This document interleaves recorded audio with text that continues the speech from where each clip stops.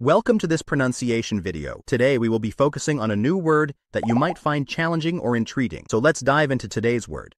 Witnessed, which means observed an event or action and provided testimony or evidence. Let's say it all together. Witnessed. Witnessed. Witnessed. One more time. Witnessed.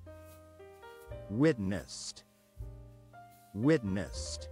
Thank you for joining us on this adventure in pronunciation. Remember, language is a journey, not a destination. Keep exploring, experimenting, and expanding your linguistic horizons. We'll see you next time.